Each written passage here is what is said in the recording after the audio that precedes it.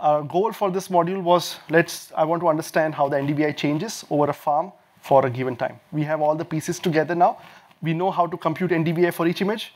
We know, given a polygon, we can run a reducer to find the average value of NDVI for each single image. Now let's see how do we combine all of this to create a time series chart. So far what we've done is we have taken the S2 collection. I have a farm boundary here. And over this farm, we have found all images and we have a collection of NDVI images. We mapped that function.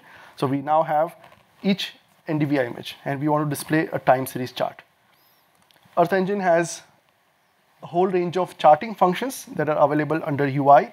So there's UI.chart. This has got many functions that will allow you to create plots in uh, Earth Engine.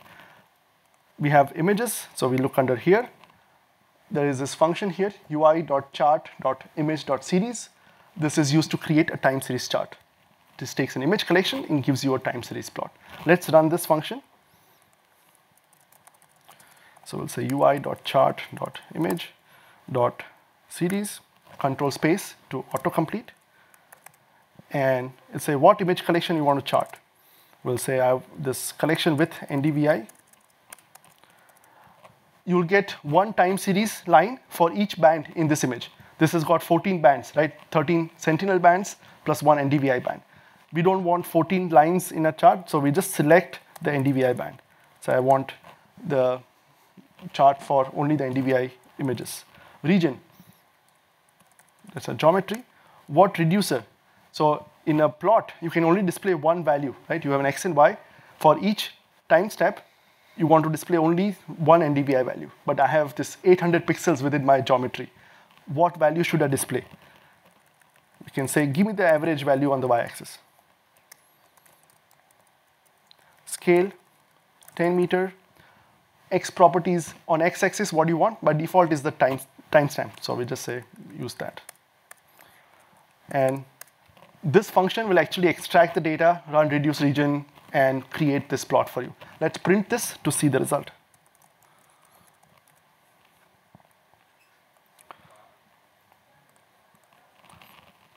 And you get this time series chart of NDVI. Let me, you can use this button to pop it out. And you can see this is how NDVI changed over this region uh, in the course of year. These are also interactive charts. So I can hover and say, on August 27, we had an image over this region the average value of this farm was this particular NDVI value. And you can create this. You can see there are some outliers. The NDVI dropped here suddenly because all the pixels might be cloudy. And when you cloud, the cloud reduces NDVI. So uh, we'll, to fix this, we have to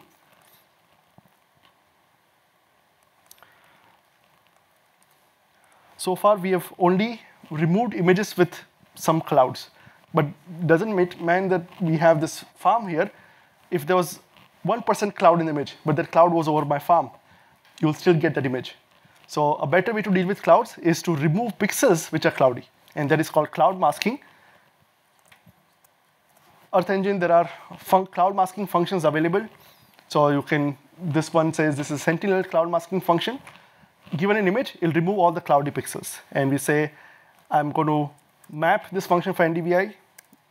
But before that, I'm going to remove all the clouds. So I'll map one more function of removing clouds. And you can see my chart improved suddenly. All the pixels where we had cloud, those pixels are gone. And now I have much more smoother chart. Right, so again, when you're doing data processing, the typically you start your Sentinel-2 collection, filter it, map a cloud masking function, map, whatever, NDVI function, and then you can create a chart like this. You can also customize the chart to your heart's content. It's very powerful. You can name the axis, you can do the chart. If you want to know, I have a whole course on charting, which I'm giving a talk tomorrow in the conference. So come to my lightning talk.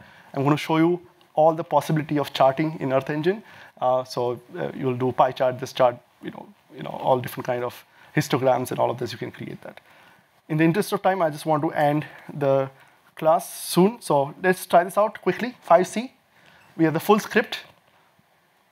Delete the geometry, draw polygon, and run the code. You'll see the NDVI over your farm uh, in your uh, region. So try this out. The last script here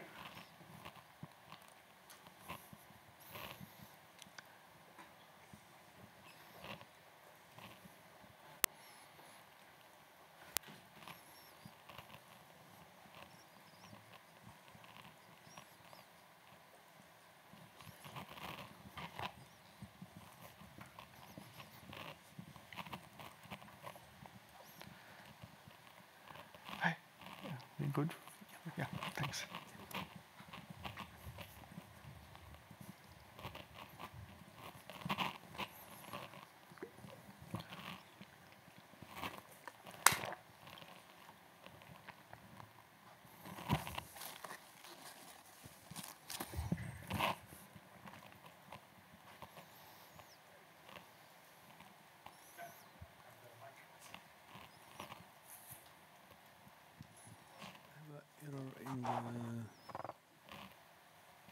I have a, when I run the I have an error in the chart. Okay. Visualize it. This is too big. Yeah, you have a very big region. Uh, generally, NDVI doesn't make sense for like a huge region. So many people say, give me the NDVI of the city.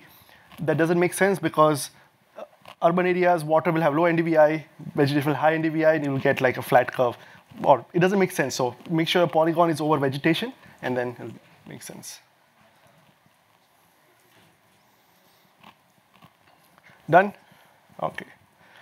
You can also pop this out and download the PNG file. You can also download the CSV. If you click download CSV, this will give you the actual data that was used to create the chart. So you can see at each date, this was the NDVI. So maybe if you are more comfortable with your own charting library, you can just download the CSV file and create your own chart in whatever library you want. But again, stepping back, what Earth Engine is enabling you is draw a polygon anywhere in the world, change the time range, and you suddenly can get a time series chart without downloading, processing, doing anything. And you just get it instantly, right? That's something that is really powerful and allow, this has happened because you can now, you're using the map reduce concept, you're using the full computation power that Earth Engine allows you to do.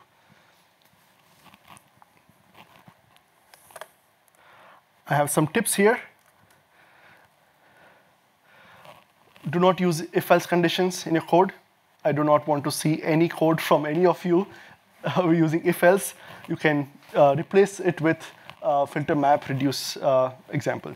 I have this example in the user guide. This is the guide that I wrote while I was at Google, which shows you concrete examples of code that uses if-else, how to convert it into a map reduce. So please uh, look at that, use that. Uh, I have another whole course on reducers. So if you are interested in there are many different kind of reducers, a lot of advanced things you can do. Uh, we can learn more about that.